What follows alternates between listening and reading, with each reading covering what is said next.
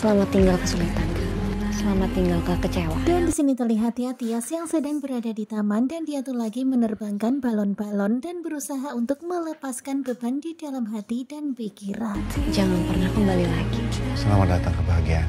Kemudian terlihat Dian yang buntutin Tias dan dia pun mendoakan kebahagiaan untuk Tias. Semoga selalu bersama istri saya. Dan pastinya sekarang ini yang diharapkan oleh Dian adalah kebahagiaan untuk Tias. Dan kalian bisa lihat ya betapa sayangnya Dian pada Tias. Sementara itu di sini terlihat ya Hani nampaknya sudah sangat kesal dan juga geram karena Zidan terus saja menterornya.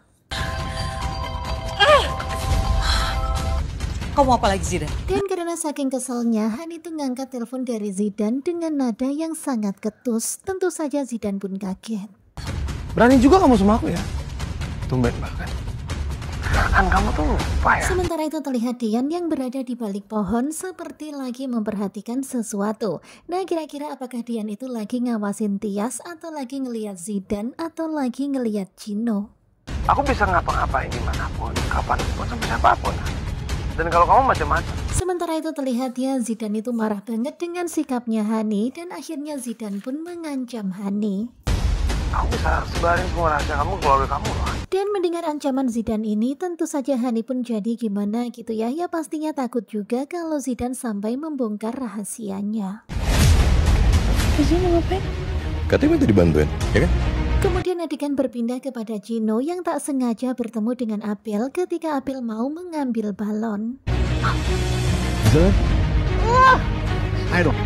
Dan karena Abel nggak bisa mengambil balon itu, Gino pun datang dan membopong Abel. Kemudian terlihat ya suasana begitu sangat manis, pastinya Abel baper. Gino.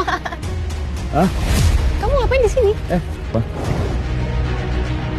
Gino dan juga Abel itu lagi ketawa-tawa, ternyata Delina melihat mereka. Kemudian Delina pun langsung datang dan nyamperin Gino. Nah tentunya pasti makin penasaran kan dengan kelanjutan naik ranjang pada hari ini hari Minggu tanggal 22 September 2024. Dan kalian bisa lihat ya nampaknya Tias itu masih memakai baju yang sama.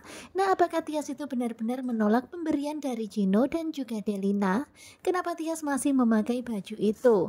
Tentu saja kita jadi bertanya-tanya. Ya harapan kita semoga saja Tias akan membeli bajunya sendiri dan menolak pemberian dari Gino dan Delina. Simak kelanjutan naik ranjang bersama dengan Gugu Juba. Terima kasih buat kalian yang sudah selalu setia dan jangan lupa nantikan video selanjutnya. Terima kasih dan bye-bye. Bye.